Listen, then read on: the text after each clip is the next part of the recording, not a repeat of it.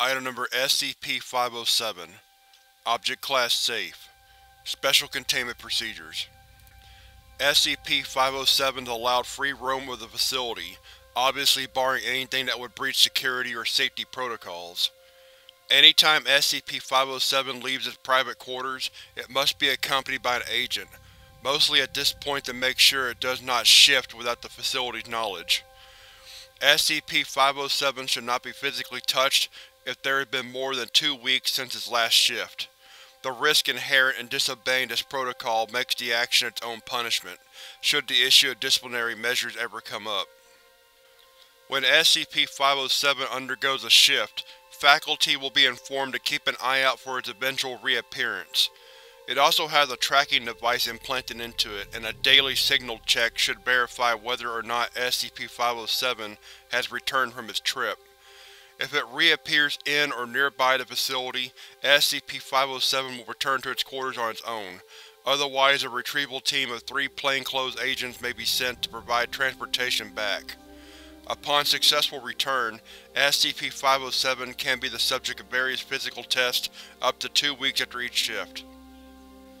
It is worth noting that SCP-507 is allowed a computer with an internet connection, via a proxy which strictly limits what information can be uploaded, and to where, in its room, and may petition to use, meet with, act as a test subject for safe or Euclid SCPs that do not affect mental functions negatively or carry an infectious trait. This is a result of SCP-507's persistently clean record, and the implication that if SCP-507 was ever going to be a security leak, it would have used its faux teleportation powers to do so already. It is also worth considering that SCP-507 is actually below average in most physical traits, and that in even worst case scenarios any SCP agent will be more than capable of carrying out a termination order. Description: SCP-507 is apparently a Caucasian male with blonde hair and green eyes, sporting no other outstanding characteristics besides being somewhat overweight and speaking with a vague accent of disputable origin. Although SCP-507 has an already established name due to its unremarkable upbringing, it seems to find entertainment in forcing those it meets to give it a nickname in lieu of divulging its information. Thus, SCP-507 will now respond to the names Tommy, Steve, Bruto, Guy, Houdini, and Grabnok the Destroyer. SCP-507 was originally recovered from the Asylum when standard surveillance following repeated successful escape attempts brought its abilities to light. All records of this incident were confiscated, and SCP-507 was taken into custody under the pretense of moving it to a more secure facility. The original theory was that SCP-507 possessed some form of teleportation ability, as it would suddenly disappear and eventually reappear in a different location. Subsequent interviews with the subject did verify that its abilities could be used in such a manner, but that it was merely a side effect for its main affliction. SCP-507 holds that during its periods of disappearance, it is actually displaced into a random alternate reality. The landscape generally stays the same, but the inhabitants and climate of the parallel world often do not. SCP-507 also insists that it has no control over the time and duration of these shifts. This has more or less been confirmed by the subject being known to displace at inconvenient times, such as mid-sentence, while sleeping, or even while using on-site public facilities. If SCP-507 moves about in the alternate world, the eventual shift back will then place it at the corresponding area in our reality. A sample list of SCP-507's descriptions of alternate realities can be found in Document 507-00.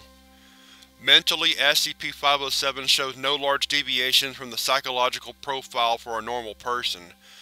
It has confessed to have always had a great interest in the paranormal and mythological, which has directly led to its eventual permission to interact with relatively harmless SCPs. SCP-507 especially enjoys meeting with other sentient SCPs, once going so far as to request a small vacation to visit SCP-082. The request was eventually granted after persistent pleading from SCP-507, and the meeting was thankfully uneventful.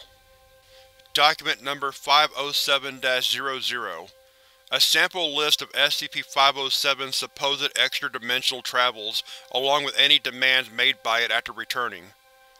Subject arrived in complete darkness, leading it to assume that the current location was indoors or subterranean. After fumbling about for a possible way out, Subject heard a sound akin to a muted breathing nearby. Subject then decided to curl up in the nearest corner and wait it out instead of risking a blind confrontation with an unknown creature. Request: A standard flashlight which it now always carries on its person. Subject appeared in a replica of the facility, although apparently fallen into disuse. Further exploration led to the discovery of various corpses strewn about the area, all heavily decayed and covered in an odd type of mold. Upon noting that the corpses seemed to rhythmically expand and contract as if still breathing, Subject attempted to leave the facility. This idea was quickly discarded when it opened an exit and found that the outside world was apparently coated with the same odd growth. Request: Heavy doses of voriconazole and a fungal expert to help ascertain the nature of the mold. No exact match of the described mold was found, but it was noted to share many attributes with certain types of cordyceps fungi. See Addendum 507-02. Upon reappearing, Subject was reported to mutter, so many spiders. Subject refused to elaborate. Request: A handheld firearm of any type. Request was granted under the stipulation that said firearm is specifically built to only use rubber bullets. Subject once again appeared in a pitch-black location with breathing nearby. Upon turning on its flashlight, Subject was surprised by a man wearing a black business suit and sunglasses with an impossibly wide smile. Said smiling man was apparently leaning in toward SCP-507 when it turned on the light, the end result being that their faces were almost touching. Smiling Man then remarked, back so soon, before Subject switched the light off again discharged all the rounds in its firearm at the general vicinity of the man, and once more curled up in the nearest corner until shifted back into our reality. Request: None. Those with Level 2 security clearance may read a full list by accessing Document Number 507-3B. Those with Level 2 forward slash 507 security clearance should also see Interview 507-G for evidence of a particularly noteworthy shift. Addendum 507-00 Agent went missing on at the same time as SCP-507. A full-scale search was launched to find either of them, only for SCP-507 to appear a week later. When questioned, it said that was holding onto his shoulder when it shifted, leading to both of them to appear in an alternate dimension where during the ensuing chaos, SCP-507 lost contact with and could not relocate him before it shifted back into standard reality. A new protocol has been placed in light of this. No one is to come into physical contact with SCP-507 after two weeks following a displacement. Re-evaluation of previous incidents have shown that there has always been at least two weeks between each, so this time frame will be the only safe time to touch SCP-507 until further notice. Addendum 507-01 I don't care how much he grumbles about it. SCP-507 is not to be cleared for challenging SCP-076-2 to 50 rounds of tic-tac-toe. Just, no. Dr. Addendum 507-02 Fungus encountered by SCP-507 seems similar to that resulting in experimentation with SCP-407.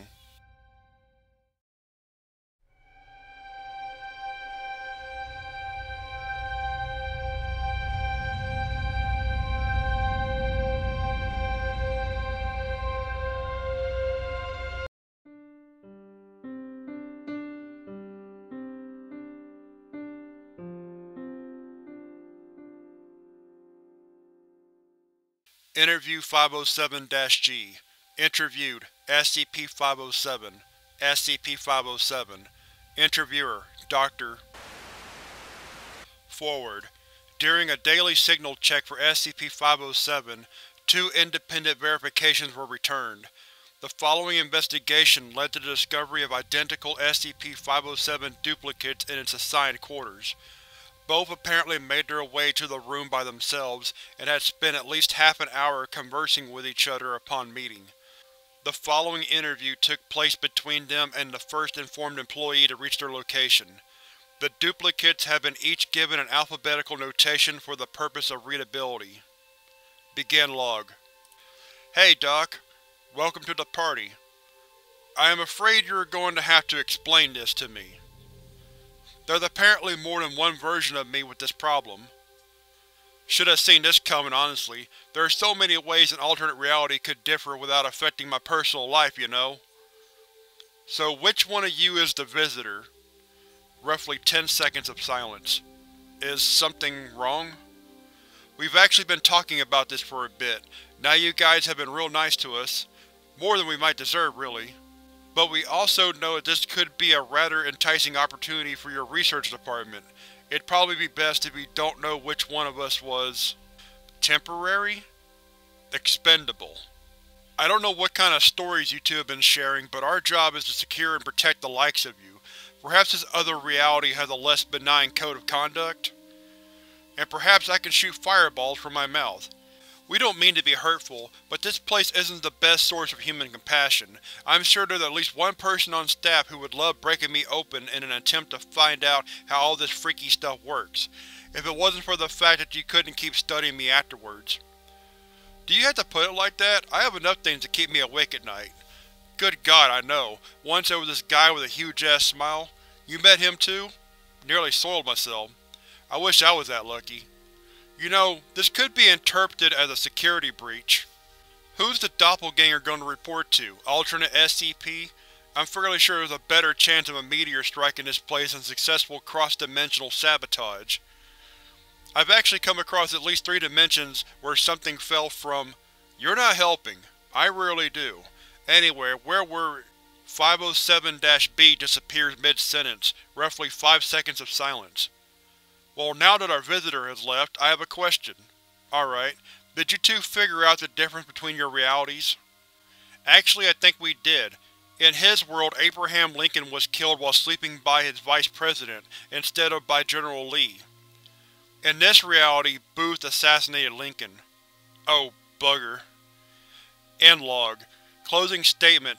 Subsequent testing revealed that SCP-507's abilities have no biological basing, and that severed pieces will still shift along with the main body. The SCP-507 of this reality reappeared three days later, and has not been informed of this incident.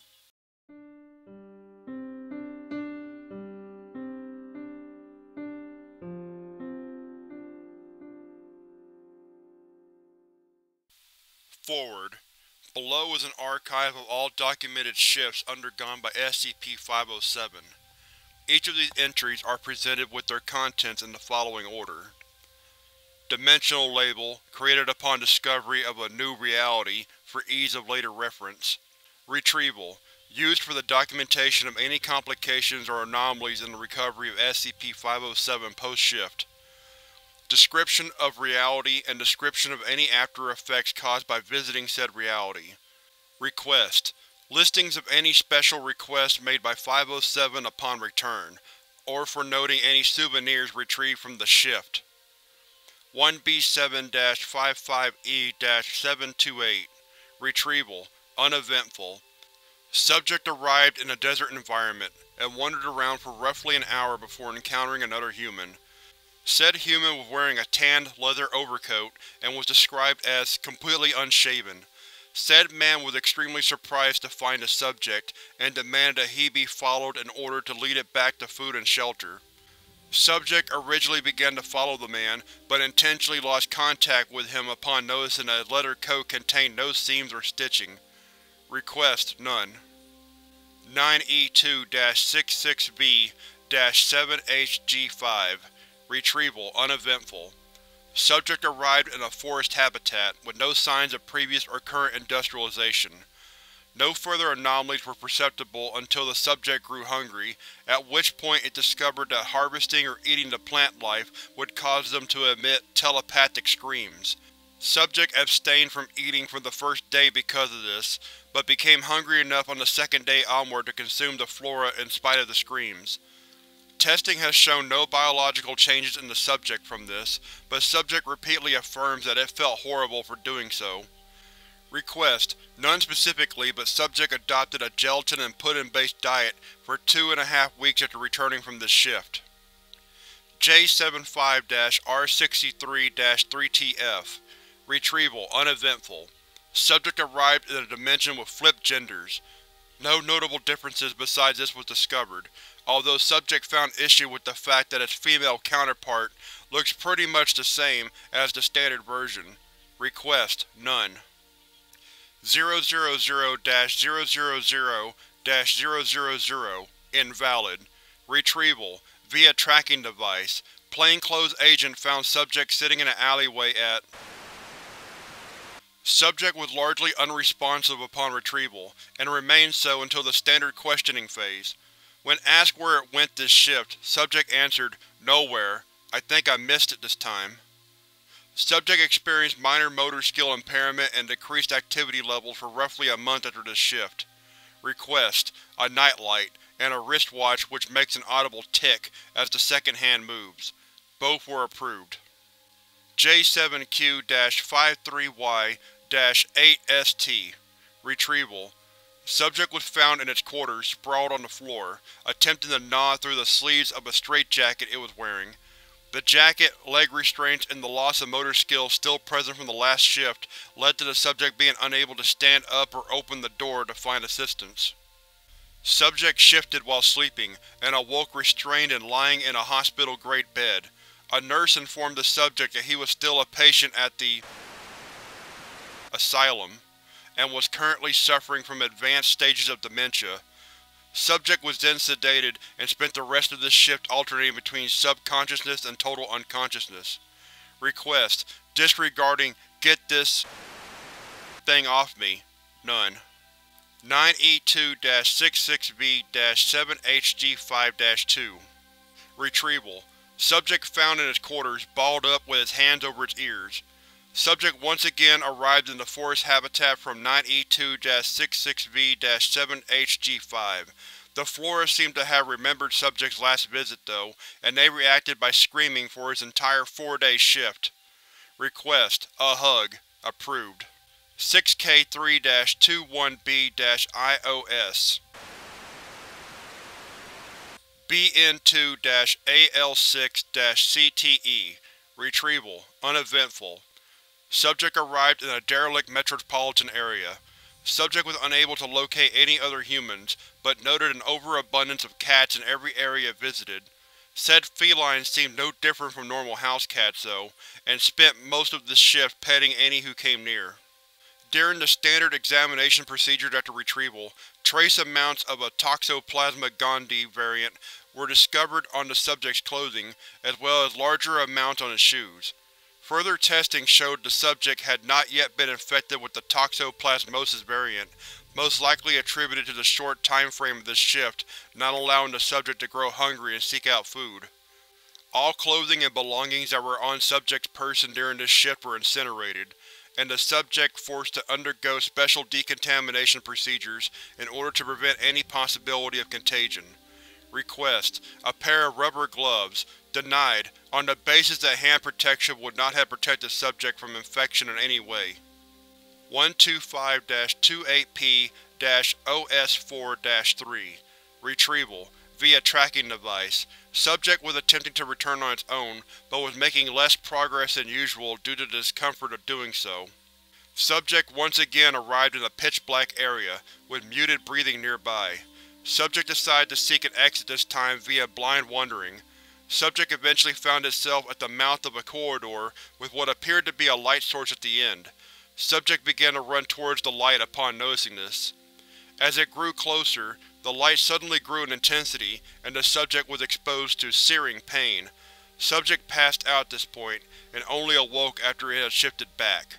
Examination upon retrieval revealed that the subject's epidermis had been cleanly stripped down to the stratum granulosum in all areas open to sunlight, and down to the stratum lucidum in all areas covered by clothing.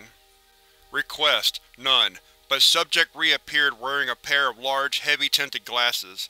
Subject did not notice that it was wearing these until they were pointed out, and supposed that they were probably why its eyes did not undergo the same process as its skin. 7F2-WA3-193 Retrieval Uneventful Subject arrived in an urban area, with no major changes as far as it could tell. Subject used the public computers of a library to search for differences between this dimension and ours, eventually finding out that Abraham Lincoln was assassinated by his vice president in order to claim his position. This ultimately led to the presidency becoming a tribe leader-like position, where the current holder is legally allowed to be challenged and overthrown by other suitable candidates. Subject noted, with great surprise that this change did not do much to alter the times that most major presidents took and held the office. Many of the minor and or detrimental presidencies tended to end via bullet wounds, often in unlikely locales or from improbable angles, which deterred most from attempting coups at all. Request none. WS6-ECU-83D Retrieval Uneventful Subject arrived at the mouth of a cave, surrounded by almost unbearable heat. Subject walked outside the cave for further investigation, to find that the area around it was a baked wasteland.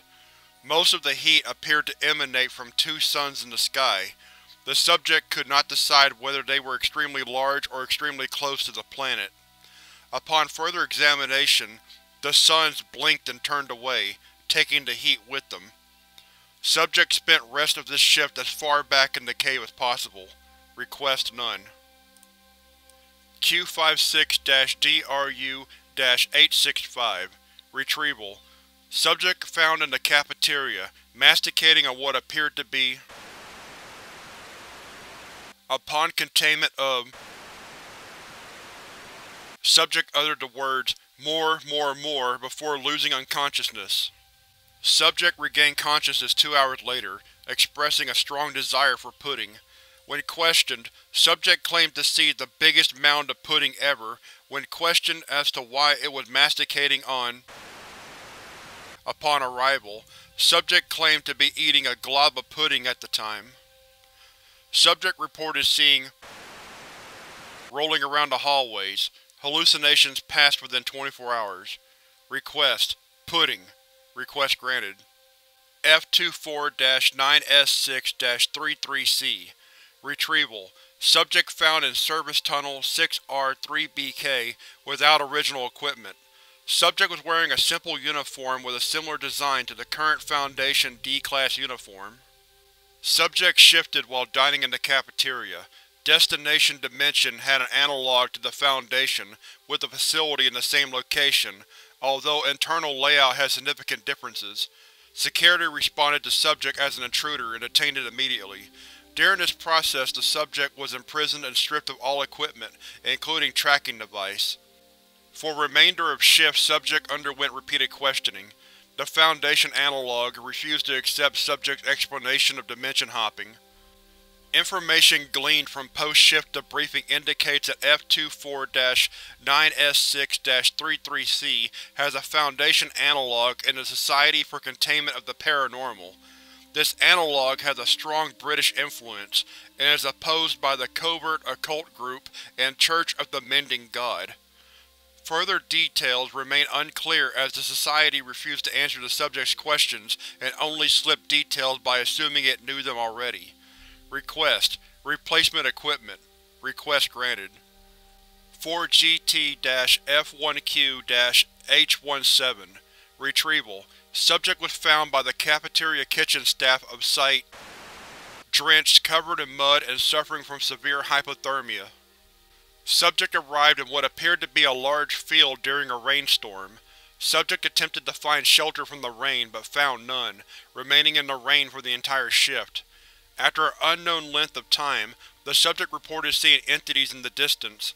Although the heavy rain obscured the subject from obtaining a detailed report of their appearances, the subject described them as being vaguely humanoid in shape. The entities began to slowly move towards the subject from all directions. Near the end of the shift, the subject reported hearing labored breathing from the nearest entities. Request: a set of warm clothing. Approved.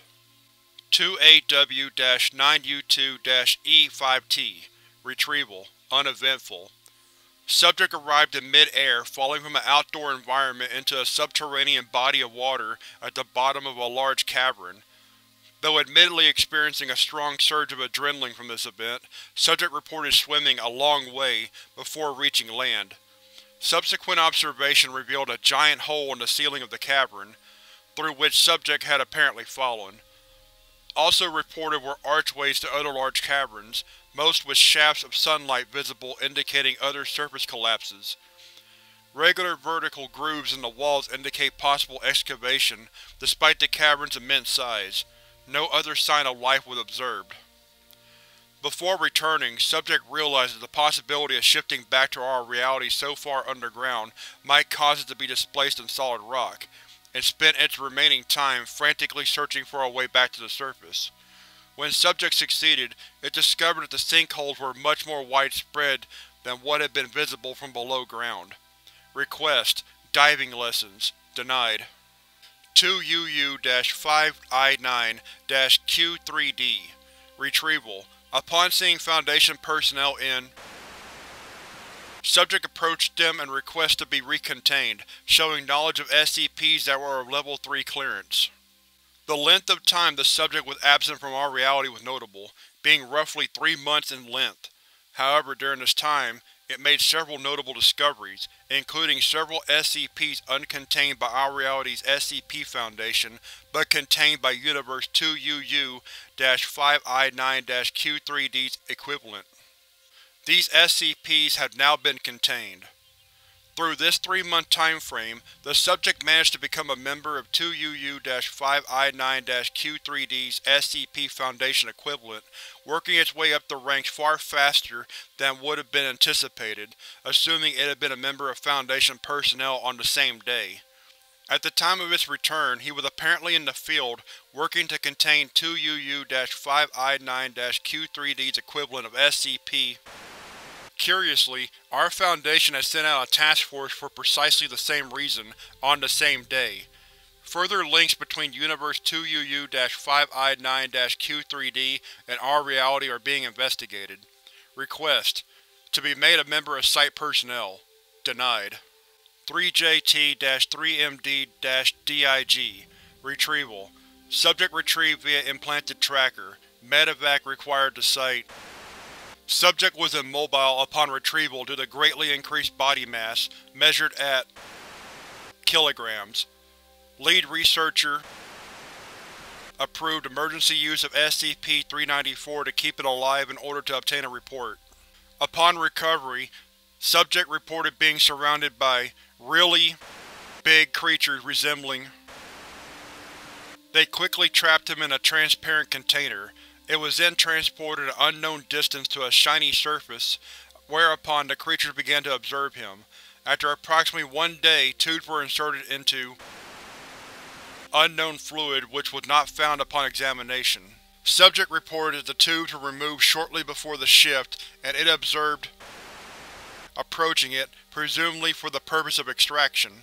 Request: Services of a personal trainer, Dr has agreed to let the subject borrow her workout tapes. Subject now displays a strong aversion to pudding. 9J3-Y6X-DTY Retrieval The subject was found hanging from his ankles in a tree on site. Subject was partially encased in insulated reflective titanium armor upon retrieval. The subject described the world it had arrived in as extra shiny, and stated that it was apprehended by law enforcement officials upon arrival. After being apprehended, the subject was transported to a nearby manufacturing facility and placed upside down on an assembly line where a series of metal sheets were shaped and cut to fit its body. It briefly had time to ask what was going on and was informed that the radiation from the sun was extremely dangerous and titanium reflective suits were required by law to prevent thermal radiation damage to any person or structure. Request: Sunscreen and an eye exam. Granted. 52J-079-3GH Retrieval via tracking device. Subject was found inside a padlocked metal shed behind an abandoned house on the outskirts of Subject arrived in a small room housing several dried corpses. Besides said corpses, the room was mostly bare. The only things Subject noted were a single paneless window and a light fixture on the ceiling which occasionally flickered. Subject attempted to rise to his feet, but had difficulty doing so due to repeated and unpredictable surges of motion. Subject eventually made its way to the window, at which point it discovered that its room was actually a container suspended in mid-air by a large chain. Subject watched as similar containers passed by him, and as it passed by others, via a complex web of rails above it which the chains were attached to. Subject could see nothing besides this but darkness in all directions. Subject then tried to wait out its time in this dimension by falling asleep, but found it difficult due to a newly discovered quality of the corpses. During moments of darkness caused by flickering, the corpses rearranged themselves into poses which would be logical for living people during that particular moment. If the subject was looking out the window, the corpses would be crowded around him in an attempt to get a better view. If the subject was sitting, they would also be seated in a pattern to form a full circle. If the subject attempted to reach the light fixture, they would act as a support, seem to be in the process of pushing him upwards, etc. Requests: None. The area which the subject exited, though, has been cordoned off and is currently under surveillance. If no evidence of Foundation-worthy phenomenon has been experienced by an anonymous tip will be sent to local law enforcement agencies so that they can discover the crime scene and take appropriate investigative actions on their own. YTF-5N2-Q00 Retrieval Uneventful Subject arrived in a crowded casino-like area. Subject noted the only type of machine available was something similar to slots, but they apparently required no money to play, and gave out nothing upon a win. Upon actually sitting down in front of one and trying it, the subject discovered that the machine dispensed a small slip of paper with writing on it upon every pull of the lever and spin of the symbols it displayed. Subject could discern no real pattern to what symbol would produce what type of note, but wrote down a list of its attempts and what it received from each just in case. Jewel Crescent Claw. If given a slice of death, could you tell how large it was? Hammer Crescent Crescent. A poor base leads to rush patch jobs. Crescent Hammer Jewel. Deja Hu? Claw Circle Hammer. There are things worse than death. For one, not dying. Crescent Hammer Crescent. There will always be someone to look after you. Crescent Jewel Crescent. They're not that jolly, it's just stuck that way. Hammer Crescent Hammer. There will always be something to look after. Claw Claw Claw. The future's looking bright. Request none. FN3-05P-KHC Retrieval Uneventful Subject appeared in a white corridor, with steel doors lining both walls. Each door had a keypad, a small speaker system, and a clipboard containing forms written in undecipherable characters. As the subject approached one door to examine said clipboard, the door's attached speaker turned on and began to address it. Subject was informed that the voice belonged to the person locked behind that specific door, and that he was wrongfully imprisoned, then left to die. The prisoner then pleaded with the subject to release him from his cell. Subject jokingly replied that he would free the prisoner if he promised not to stab the subject upon release. There was roughly a seven-second pause before the prisoner asked what stabbing was. After a moment of deliberation, the subject defined stabbing as the creation of a new orifice through the use of a pointed object. Another pause followed. The prisoner eventually affirmed that he would not stab the subject because all of his objects were very blunt. Subject naturally did not open that door or any of the others. Request none. I-52-37G-Z8M Retrieval via tracking device. Subject within a holding cell of the police station under charges of public indecency. Extraction was successfully made with no complications. Subject arrived in an area apparently undergoing a large snowstorm. Subject attempted to find shelter but could not find its way in the storm, and had almost succumbed to exposure by the time it was located and pulled into a cave by a man covered in protective furs. The man helped the subject out of his soaked clothing, although he did not have an extra set of garments. He led the subject to an underground hot spring his cave was connected to. When the man was sure the subject was regaining its strength, he removed his furs and entered the spring as well. Subject was extremely surprised to discover that the man was a second SCP-507. Subject noticed no obvious physical differences between itself and the double, although the alternate 507 had a pattern of tribal scarring across his torso, as well as at the bases of some of his limbs.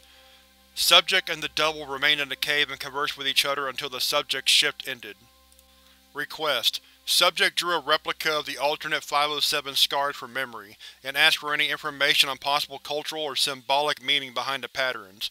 None was found, but Foundation researchers noted the lines were congruent with incision marks that would be made during a standard S43-51U-P09 Retrieval via tracking device.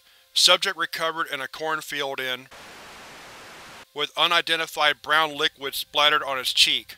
A human heart with the words I need you written with the same liquid was discovered in subject's hand. Subject claimed that said object was not in his possession during the shift and does not know how it came into his possession. Researchers are attempting to identify the liquid. Subject arrived in pitch-black darkness, with the sound of crying nearby.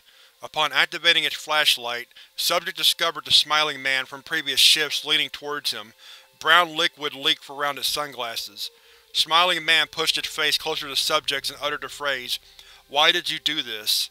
Smiling Man then wiped off a portion of the brown liquid from its eyes with its hand and began caressing Subject's cheek with it. Subject forcefully pushed Smiling Man away. Subject observed that the Smiling Man's business suit contained several holes, with brown liquid trailing down from them. Subject drew its firearm and pulled the trigger, however for unknown reasons the pistol did not fire. Smiling Man began slowly walking towards Subject. Subject ran for approximately 10 minutes and spent the rest of the shift huddled in a corner. Request: A more reliable pistol. Denied, as the cause of the error is unknown. 9E2-66B-7HG5-3 Retrieval via tracking device. Subject was discovered 7 km or 6.4 miles northeast of the facility. Subject shifted while reading in its quarters. Subject found itself returned to the forest habitat containing telepathic trees. The trees remained silent upon its entry to the environment. The subject admitted that despite its previous experiences within the environment, it was curious about the absence of any human habitation. The subject propelled itself to the highest ground it could find in order to see over the tree canopy. The subject found a clearing at the top of a hill. Subject reported seeing a huge semi-translucent blue dome covering the entire forest. The tree canopy extended out to the edge of the dome with foliage so thick that looking up and through it was unfeasible. Subject reported itself to see the dome slightly off-center, suggesting it was not underneath the direct middle. Request none. 5Z4-75T-7YB Retrieval Subject was found prone and unresponsive in its quarters. Subject was bleeding significantly. Several deep gashes were discovered in the left side of the subject, just under the armpit. The claw marks extended to the bottom of the rib cage.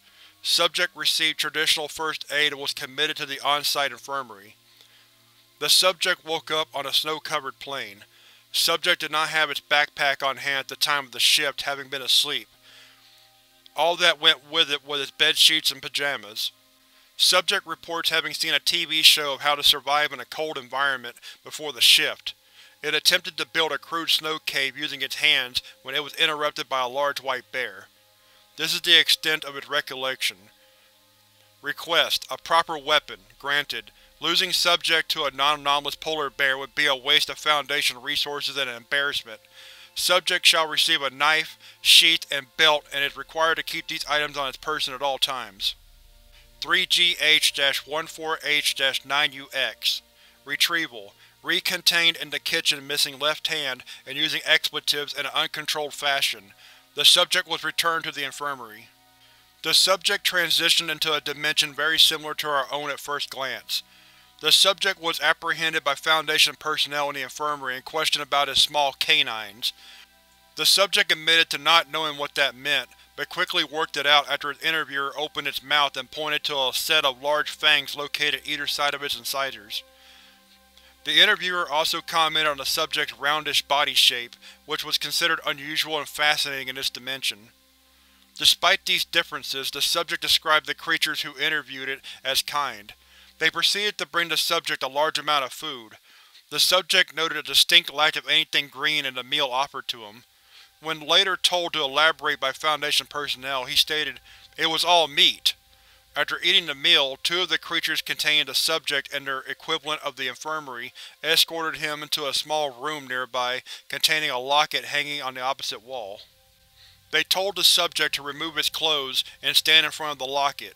After the subject had done as ordered, they opened the locket and exposed it to a green orb for approximately eight minutes. The subject noted the lack of any scar tissue on his left side and a strong feeling of general well-being. The next day a creature came to him and asked for a small portion of his skin and musculature in order to study genetic differences.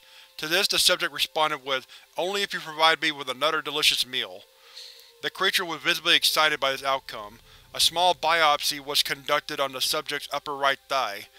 The subject described this experience as painful but totally worth it. A huge amount of unspecified meat was delivered to the subject upon completion of the biopsy.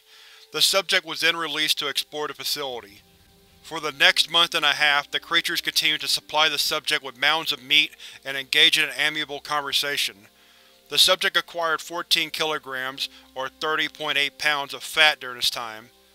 On April 16, 2015 the subject was escorted to the kitchen equivalent.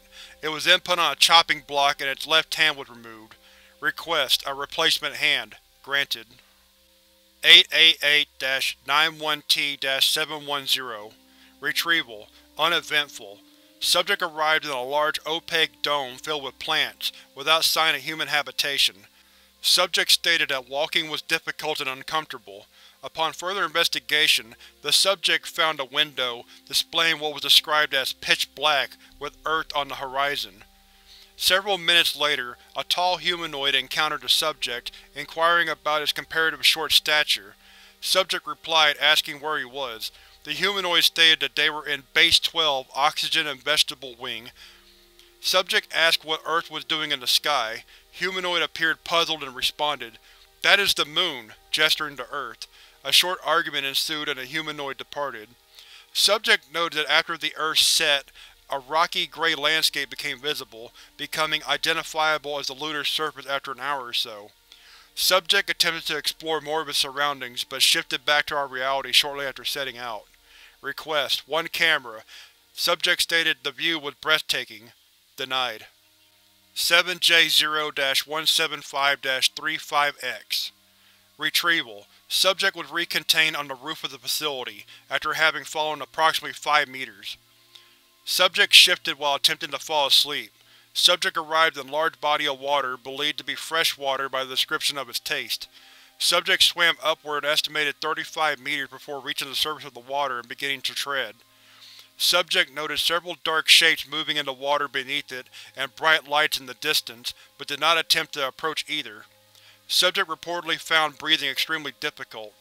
Subsequent physical tests indicated the subject had ingested substantial amounts of methane during the shift. Request: A tank of breathing gas as part of its equipment. Approved.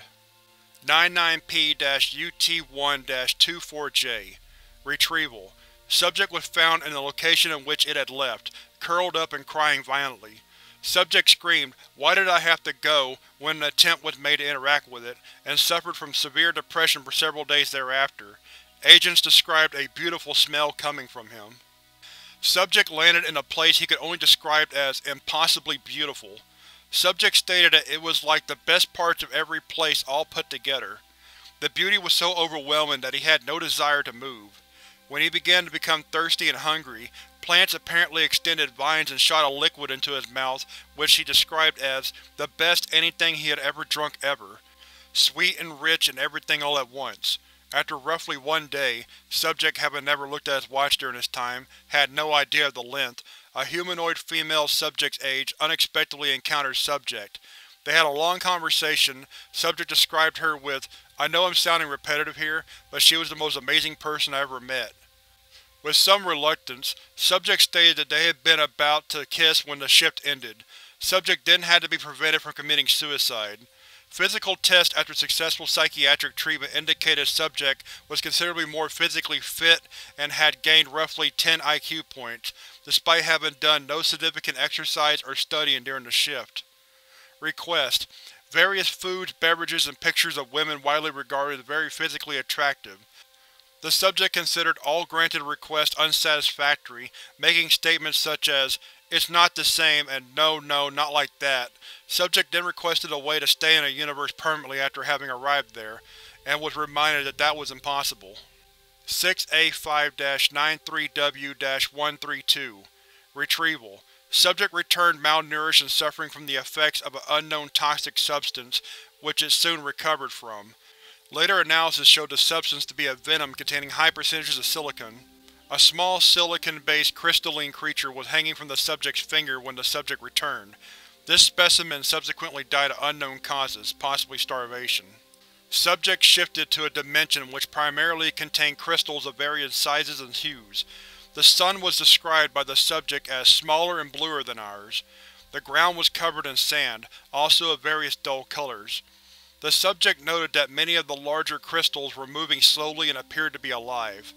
It also saw smaller creatures which scuttled around quite rapidly, and seemed to be composed of crystal. The subject spent some time searching for water, which it found. It noted that there seemed to be considerably more of the smaller crystalline animals near the water. Shortly before the subject returned, it was attacked by one of the small creatures. The subject described both the larger and smaller creatures as both looking and behaving similarly to crustaceans. Request: food and water that doesn't taste like sand. Granted.